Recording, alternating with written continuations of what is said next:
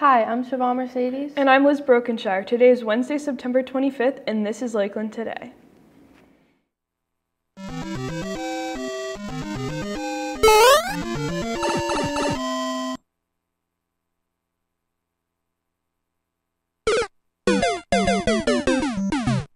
Please stand for the Pledge of Allegiance. I pledge allegiance to the flag of the United States of America and to the republic for which it stands, one nation, under God, indivisible, with liberty and justice for all. Spirit Week has begun. The theme today is College Day, and tomorrow's class colors. Freshmen will be in gray, sophomores in white, juniors in red, and seniors in black. Everyone be sure to wear your color. There will be an interest meeting for DECA on October 1st after school. See Mr. Langford for more information or a DECA officer. Calling all freshmen.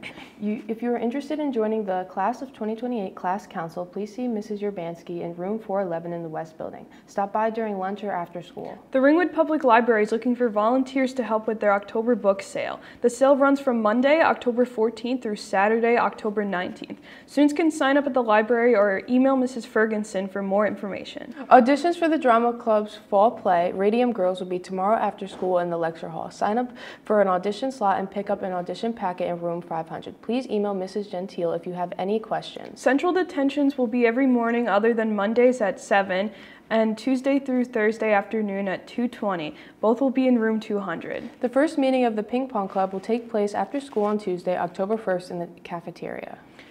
Lancers, please sure to wear your lanyard and student ID. Students without an ID will receive discipline points. Lakeland will be administering the PSATs on Wednesday, October 2nd to all 9th, 10th, and 11th grade students. Please report to school on time with your fully charged Chromebook and charger. Your testing location will be posted outside the main office, the Lancer locker, or on the bulletin board across from the Media Center. They can also be found on the Student Hub.